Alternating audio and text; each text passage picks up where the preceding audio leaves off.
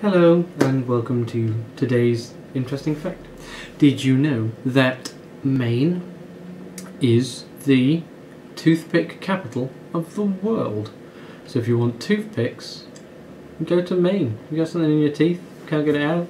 Maine is the place to go. And talking of going, that's where I'm off to. The land go. Okay, that wasn't so smooth, but goodbye anyway. Uh, see you tomorrow. Bye.